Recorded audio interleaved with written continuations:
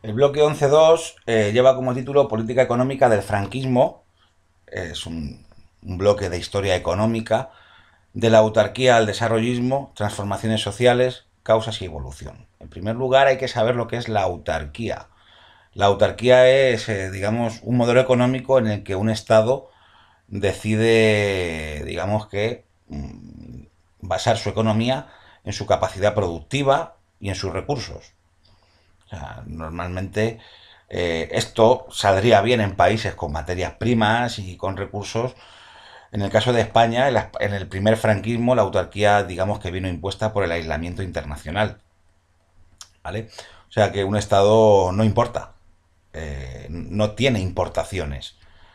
Se dedica única y exclusivamente a mantenerse con eh, la producción nacional. Esto era muy, fue muy típico en la Alemania nazi, en la Italia fascista, eh, normalmente los países que eran autárquicos tenían colonias o, colonias que les proporcionaban recursos también. Se trata de conseguir en definitiva una independencia económica respecto al resto. Al resto ¿vale? Y luego el desarrollismo se va a dar en los años 60. Lo vamos a ir viendo. Eh, la autarquía se eh, caracterizó también por un intervencionismo del Estado en la economía española. Eh, se trata de establecer un modelo de corte fascista. Estamos en los primeros años del franquismo. ¿Vale? Eh, aquí lo, vuelvo a, se vuelve a repetir. Según la RAE, bueno, pues eh, la política de un Estado que intenta bastarse con sus propios recursos. En el caso de España, difícil, ¿no? y después del 39, pues imitando a nazis alemanes y fascistas italianos, pues lo intenta Franco sin mucho éxito. O sea, hasta en España, para que nos hagamos una idea, eh, la cartilla de racionamiento termina en el año 52. O sea, desde el año, desde, desde el año 39 se establece la cartilla de racionamiento. Y claro, mm, era mucho más fácil. Tú ibas a por leche o pan y te, lo daban con la cartilla y te lo, y te lo sellaban, te ponían un sello. No, no podías llevarte cinco barras de pan o seis, o sea, comprar el pan que querías, ¿no? No se podía. Estaba todo racionado. Entonces, durante esta época se hace, se da mucho lo que se llamaba el extraperlo. No el extraperlo de la ruleta, que acabó con el gobierno eh, radical cedista, sino el, ya el nuevo significado de extraperlo, vamos, el mercado negro. Mucha gente en esta época se hizo mucho dinero también con el, con el mercado negro y aprovechándose de la miseria pues de la mayoría del país. Eh, por tanto, queda claro lo que es autarquía y en qué periodo se da. La autarquía va, a digamos, a estar vigente hasta los mediados de los años 50. A partir del año 57, España ya cambia el modelo hacia una política más liberal en lo económico. Eh, por ejemplo, se crea, hay cosas interesantes, ¿no? Como el Instituto Nacional de Industria en el año 41. Eh, se quería, Franco soñaba eh, que, España se podía industrializar siguiendo el modelo del fascismo italiano eh, y crea el Instituto Nacional de Industria en el año 41. Estamos en el contexto de la Segunda Guerra Mundial. El INI. Eh, fijaos la cantidad de empresas públicas que estaban asociadas a este organismo. Fue fundado por José Antonio Suárez Fernández, un economista, y fue presidente hasta los años 60 y empresas SEAT, Iberia, en caso Endesa, empresas que hoy en día, bueno, Iberia prácticamente, pues se han ido privatizando, ¿no? Pues esto eran empresas públicas, eh, fundadas por, durante el franquismo, ¿no? Entonces se crea el Instituto Nacional de Industria, que ya Miguel Primo de Rivera había intentado crear un modelo parecido, ¿no? en, en lo económico, con un importante intervencionismo del Estado. No es que el Estado planifique la economía, como, ocurría en la Unión Soviética. Pero sí el Estado es un agente muy importante a la hora de, digamos, dar un impulso a la industria fundando y creando empresa, industria pública. Eh, bueno, eh, cosas, el 600, eh, digamos, la joya de la corona, ¿no? Por decirlo de alguna manera, hoy en día muy cotizado para los amantes de la nostalgia y de lo vintage. Eh, ese era el coche del pueblo, el 600. Luego ya vino el 850, el 127, bueno. el, 600 y en los años eh, finales, principio de los 60, años 60 sobre todo, pues, ¿quién no tuvo un 600, no? Eh, aquí tenemos Siberia, eh, es un Douglas DC-3, bueno, pues aerolíneas españolas y Endesa, la empresa nacional de electricidad, ahora ya SA y ya privatizada, ¿no? Desde los años 90, si no recuerdo mal. Eh, bueno, pues esto es un poco, digamos, tipo de empresas, ¿no? Eh, fracasó, no tenemos recursos en España, ya lo sabemos, eh, que no somos muy abundantes y lo hemos visto en el siglo XIX y, incluso en, asignaturas como geografía también, bueno, pues la escasez de recursos que tiene, que tiene el país eh, sobre todo petróleo y, también carbón, ¿no? que son imprescindibles para poder industrializar un país en condiciones. Y a partir de los 50, pues la economía debe ir liberalizándose. ¿Para qué? Pues para fomentar la inversión extranjera. Por tanto, por una parte, a nivel político hay que dar una imagen más simpática. Seguimos siendo una dictadura, pero somos anticomunistas. Eh, necesitamos que eh, invertir, que haya inversiones en España y para eso hay que devaluar la peseta también. Entonces, a partir de los años 50, eh, lo, que se llama el plan de estabilización, sobre todo a finales, bueno, pues se van a liberalizar los precios, libre circulación de mercancías, se pone fin a la falta de alimentos porque se puede importar, se acaba con las cartillas de racionamiento. En definitiva, en el año 54 se supera la renta per cápita por habitante de 1934. Por fin, 20 años después. No está mal. Por cierto, porque claro, la guerra, eh, la posguerra, bueno, pues la verdad es que el pueblo español sufrió bastante eh, pues todo este proceso, ¿no? En el 57, esta persona es muy importante, Gregorio López Bravo. En el 57, eh, una serie de funcionarios ligados al Opus Dei, ultracatólicos, y mediante Carrero Blanco, que tenía mucha mano con Franco, o sea, mucha confianza, aunque Carrero no era miembro numerario del Opus, eh, bueno, pues empiezan a entrar los tecnócratas. Un tecnócrata eh, es un, para que, para que lo entendamos, es un político que al margen de ideología, esta gente pues es ultracatólica, lógicamente, y fiel a Franco, pero sitúa la economía, eh, sitúa la economía política por encima de la política económica. O sea, digamos que la economía, eh, muy liberales en, el plano económico, la economía tiene que ir, no tiene que ser tan intervenida eh, por, por la política, ¿no? Ni regulada. Entonces empieza, se empieza en España un proceso de liberalización de la, de la, economía. Y nada, pues un tecnócrata es muy liberal en lo económico y bueno, tiene unos principios eh, de que independientemente de la ideología, si una persona es válida para cualquier eh, puesto, pues son los que tienen que ejercer el poder, ¿vale? Independientemente de la ideología que se tenga. No quiere decir que a partir de esta gente empezarán a entrar socialistas y comunistas, no. Pero bueno, un tecnócrata en esencia es eso, ¿no? Los más válidos son los que tienen que llevar los designios del país. Nos interesa la parte económica, son liberales, muy liberales en lo económico, insisto, en lo económico. Eh, entonces elaboran un plan, que es el plan de estabilización, eh, en el año 59, realizado por por Fuentes Quintana y, Joan o Juan Sardá, mejor Juan Sardá, porque llamarse Joan en esta época en el, franquismo, pues no se puede. Eh, y el plan de estabilización, siguiendo los indicadores que ya España había entrado en el Fondo Monetario Internacional y en el Banco Mundial, eh, lo que se trata es de liberalizar la economía, recortar el gasto público, esto siempre se hace, ¿vale? Eh, y, digamos, hacer una bajada de impuestos, devaluando la peseta, para que se fomente la inversión extranjera. A partir de aquí, sobre todo, el país va a seguir van a seguir conviviendo las empresas del INI, del Instituto Nacional de Industria, pero eh, va a haber una inversión extranjera y sobre todo se va a impulsar el turismo. a partir de los años 60 eh, va a ser el turismo, digamos, otra vez, y hoy en día somos potencia turística, pero esto se inicia aquí, en los años 60, ¿no? Eh, por, con operadores extranjeros, etcétera. Pero bueno, es en los años 60 cuando empieza a venir la gente europea a dejarse el dinero aquí en España, vendiendo el clima, la bondad de, nuestro clima, que sinceramente, pues, salvo algún país más del Mediterráneo, eh, pues digamos que es el mejor clima, sobre todo para el periodo estival, las cosas como son. Eh, entonces se, entra en el periodo llamado desarrollismo.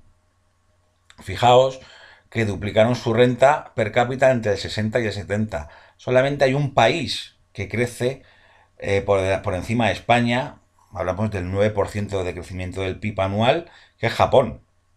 O sea, que España, o sea, el salto que da España con un éxodo rural eh, esto es la revolución industrial, básicamente, para que lo entendamos. y, empieza, digamos, o bien como el campo se mecaniza, un trasvase de población del campo a la ciudad, del éxodo rural, o bien mucha gente también en los años 60 eh, marchó a trabajar fuera, Alemania, Suiza, Francia, y también se importaron esos capitales, esas divisas. Entonces, bueno, eh, empieza, digamos, España a engancharse económicamente, a engancharse al tren de los países desarrollados. Eh, actividad industrial, Cataluña, País Vasco y Madrid. Esto es muy importante porque la, la emigración eh, va a marchar de las zonas rurales, Andalucía, eh, las dos Castillas y Extremadura hacia Madrid, Cataluña, muy importante también, y el País Vasco. ¿Vale?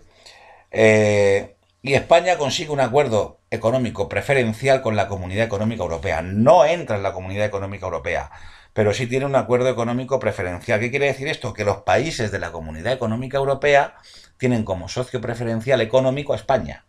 Esto es, bueno a nivel, digamos, mm, de mercado, eh, porque estás, digamos, fuera de las normas eh, de la Comunidad Económica Europea, pero tienes un acuerdo, digamos, preferencial para ciertas cosas.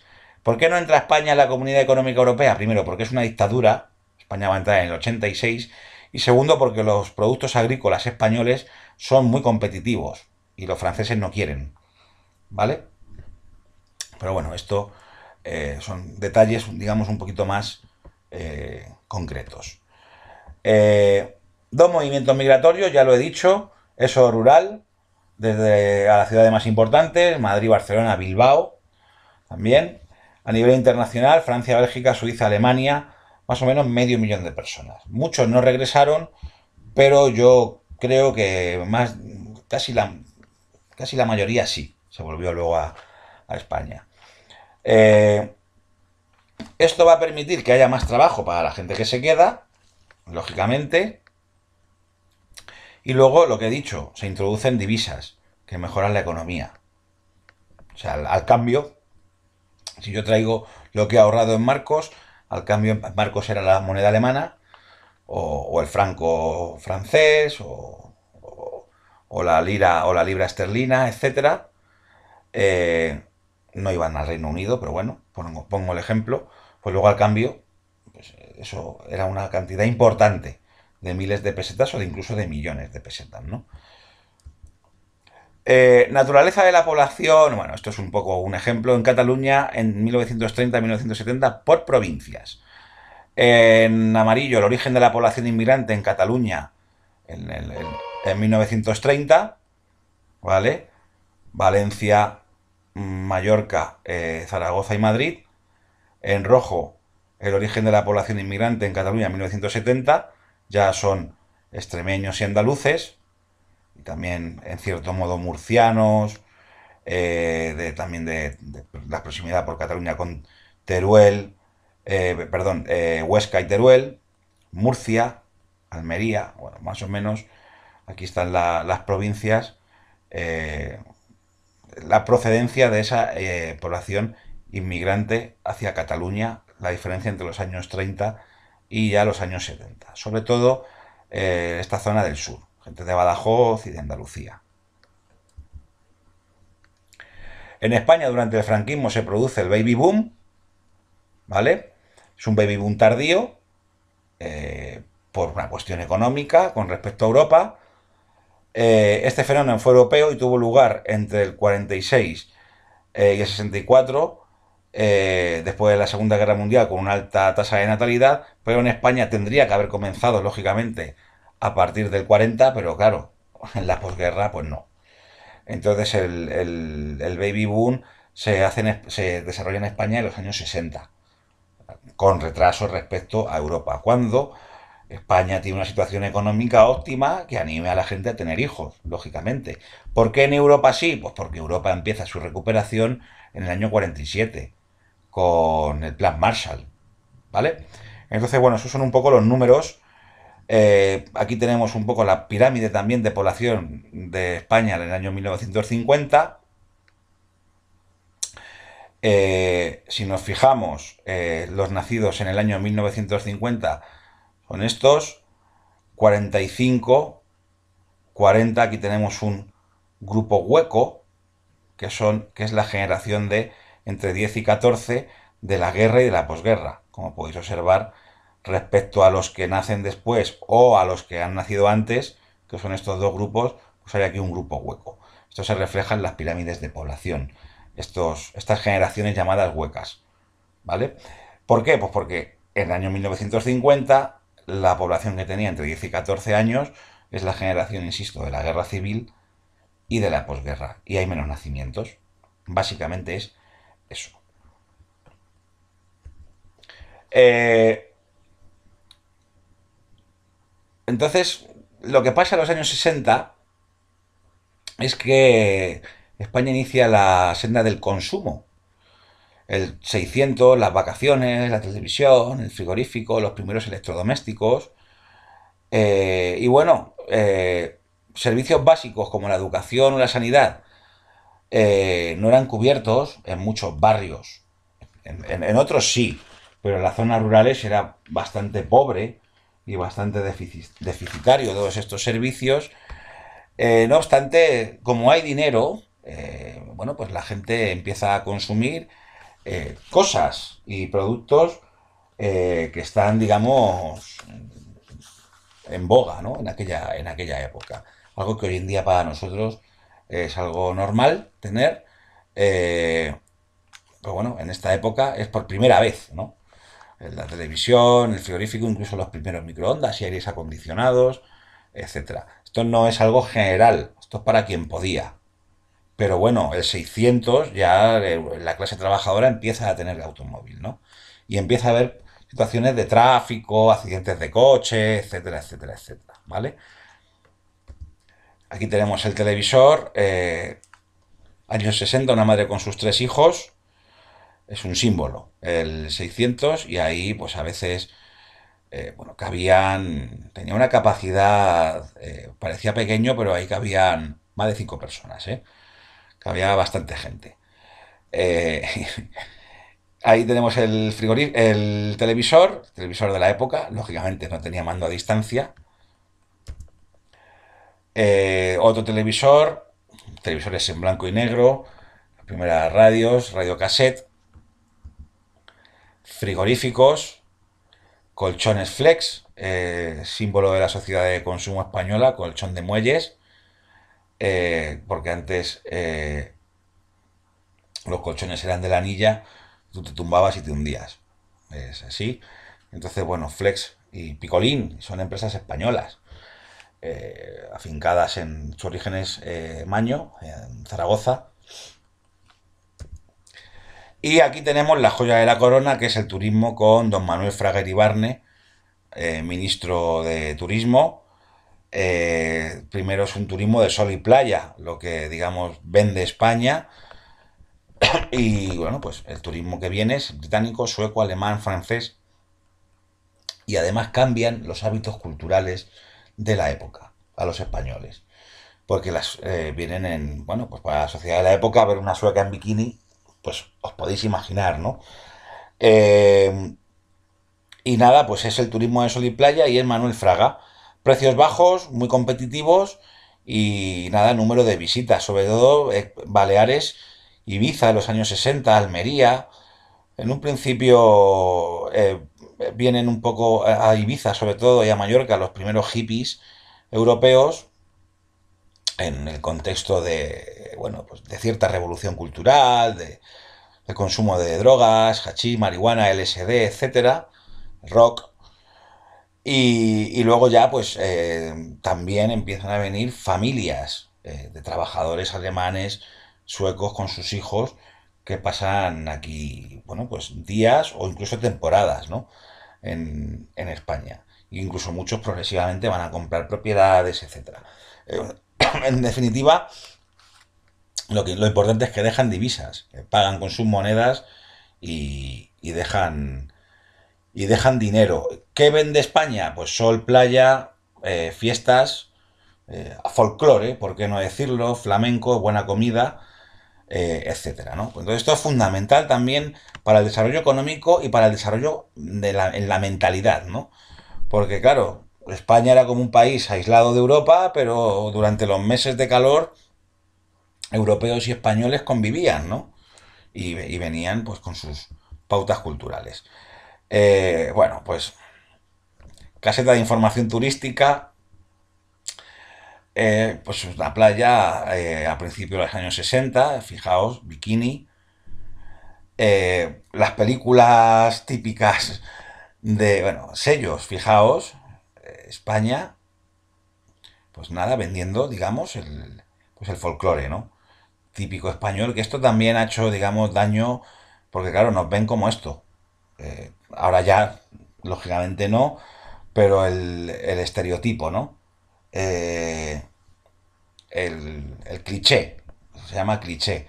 Y a esta gente pues eh, se mueven por clichés. Y si tú vendes un cliché muy concreto, pues fuera de España te ven así pues como un bandolero, ¿vale? Se vende la imagen del bandolero, etcétera. Y luego el cine español en la época de franquismo, pues lo típico, Amor a la Española, con José López Vázquez, Mariano Gómez Bur, Alfredo Landa, el landismo. Eh, y luego también, eh, con la llegada del turismo, la Iglesia Católica pues también pierde fuerza.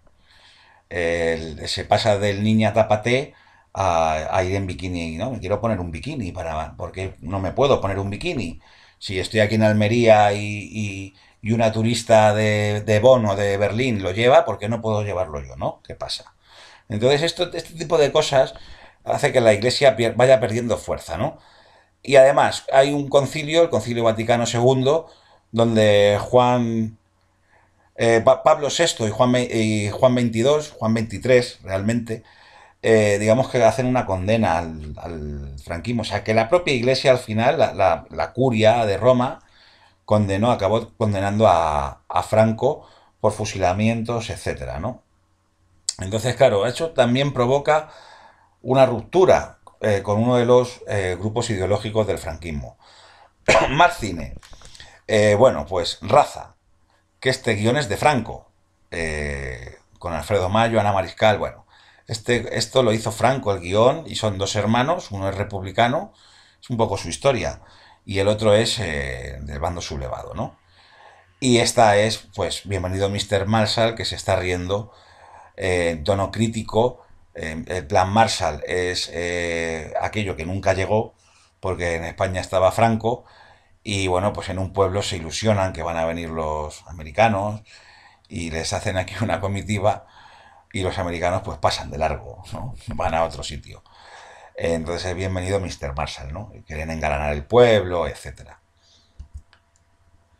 Eh, cine español, eh, también hubo una parte del cine que critica la dictadura, eh, aunque hay mucha censura, lo que, esos directores más comprometidos como Berlanga o, o Bardem, lo que hacían era poner mm, planos y planos que escandalizaran para que los censores se centraran en ello y lo cortaran y así ellos, eh, digamos, poder meter lo más eh, indirecto, ¿vale? Que los censores no veían, porque muchas veces, si veis alguna película de, hecha, digamos, crítica, o que critique la moral franquista, es muy sublime, es muy subliminal, pero se ve, ¿no? Entonces, eh, lo que hacían era meter barbaridades para que los censores las cortaran y que dejaran eh, lo que era realmente subliminal, que era el mensaje, ¿no? Real. Por ejemplo, aquí hay una película que es Mogambo, donde, que es esta, esta película es, de Estados Unidos, eh, que sale Grace Kelly, Grace Kelly, Ava Gardner y Claire Gable. Y, lo que hace el franquismo es para, porque es una relación a tres, hay incesto, sale Ava Gardner también. Entonces lo que hace el franquismo es alterar los diálogos, lo que hizo el franquismo es alterar los diálogos eh, hasta tal punto de que el matrimonio, eh, ya como el adulterio estaba prohibido y el, y el divorcio, pues convierten al marido y a la mujer, que digamos tienen una relación eh, que son adúlteros el uno con el otro, en hermanos. Al final es una pareja de hermanos. Entonces no pasa no solo es el adulterio, sino que es peor porque es una relación de incesto, ¿no? Entonces, bueno, el cine en esta época era muy importante para la propaganda y, y para, digamos, guiar la mentalidad de la población.